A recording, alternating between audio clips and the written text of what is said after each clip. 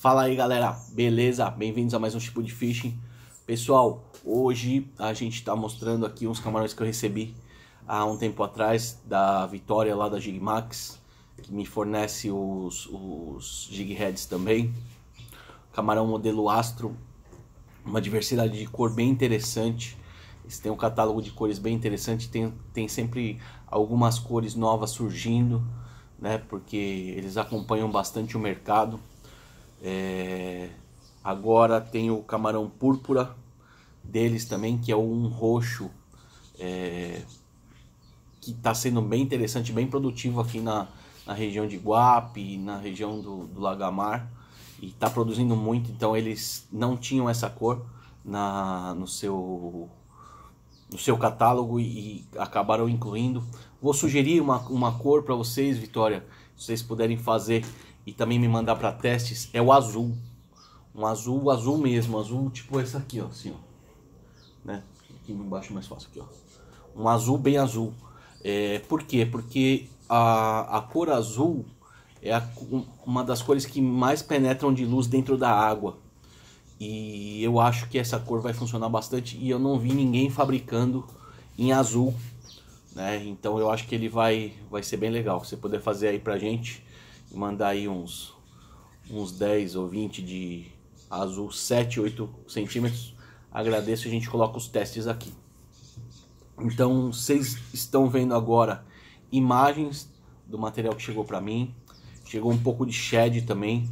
É, vou fazer alguns testes. Eu não, não costumo usar shed, tá? Mas a gente vai fazer os testes aqui também. As cores deles são uma gama de cores bem legal. Como eu falei, estão sempre inovando também com cores. E uma linha inteira de, de jig heads, né? Com, com gravata, sem gravata, com, com anti-rosco, normal. É, e o trunfo, né? É anzol lastreado, tanto 120 graus quanto o offset. É, o offset eu acho muito, muito legal para algumas situações com muita estrutura. Dá para a gente fazer aquela montagem é, anti-enrosco. E o que eu acho muito legal do, do material deles é isso aqui, pessoal. É, é marcação. Né? Esse aqui é um de 10 gramas, vocês podem olhar. É, marcação no anzol. Marcação no anzol é fundamental para a agilidade do pescador na hora que ele está lá na, na hora de em situação de pesca. Outra coisa que eu vou falar para vocês que agiliza muito e acaba é, economizando camarão é na verdade é assim você vai ter que ter um pouquinho mais de camarão de início e de jig head também para fazer isso que eu estou falando é você deixar os camarões já escados tá? E divididos por peso na sua caixa. Por que isso?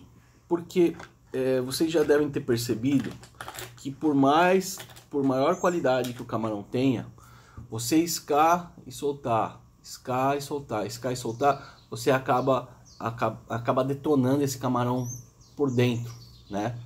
É, então você, ele acaba rompendo, rasgando com, com o tempo, tá? E nesse caso aqui, ó, por exemplo, eu tenho aquele lá que eu te mostrei de 10 gramas, aqui eu tenho os escados com 7 gramas, tenho alguns aqui também escados com 5 gramas, ok? Porque eu acho muito mais ágil e a médio, médio prazo você acaba economizando camarão, tá? Porque ele não vai romper. É, outra coisa, que eu vou dar de dica para vocês. Uh, aqui na nossa região, litoral sul de São Paulo, o que está funcionando é tamanho 7 centímetros. No máximo 8 centímetros, mas 7 centímetros é o que está funcionando muito bem, inclusive para os flechas grandes.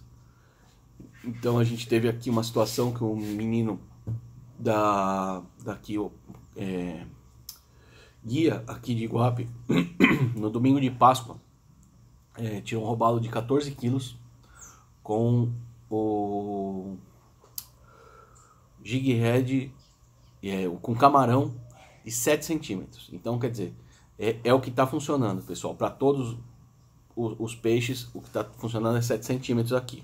Então fica a dica. Já vi sair peixe, inclusive peixe bom com 5,5 também. Mas o 7 é o carro-chefe. Quando você aumenta o, o, camarão aqui, nessa época, nessa situação que a gente está hoje, hoje está é, tá diminuindo produtividade. Outra dica que eu vou dar a vocês, pessoal, deixa eu achar aqui um, ó, é usar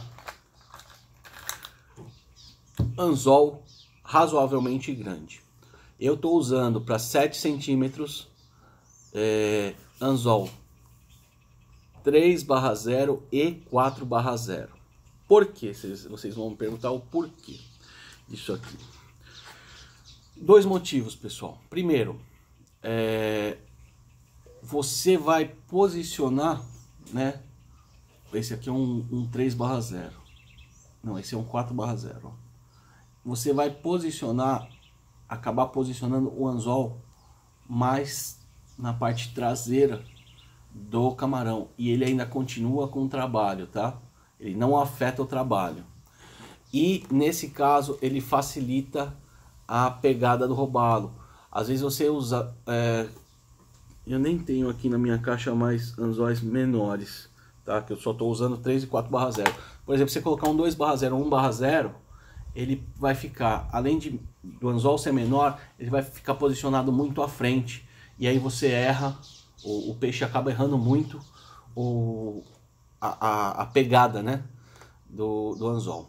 Outra coisa é que o anzol maior, aqui ó, ele tem uma área maior aqui, né?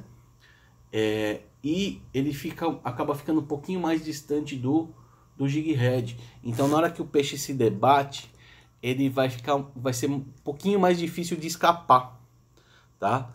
Porque o anzol é um pouquinho mais grosso, ele é maior e a fisga também acaba sendo um pouquinho maior, mas principalmente porque ele fica um pouquinho mais distante do peso. Então na hora que ele faz a alavanca, ele é mais difícil de sair, tá? E anzol menor, o pessoal conhece robalo, sabe que ele a membrana é bem fininha, né? Então o anzol menor, qualquer é, qualquer balançadinha a mais que você dê e principalmente com linha bambeada, ele acaba escapando. Isso acontece muito e muito mesmo, principalmente na hora de você embarcar o peixe para soltá-lo e quando não usa passaguá, tá? Então fica aí a dica, anzol maior e pesos é, sempre bem equilibrados, tá bom? Fornecedor nosso que está fornecendo para a gente aqui, Gigmax, Vitória e Max. Beleza, galera? Um abraço, até a próxima.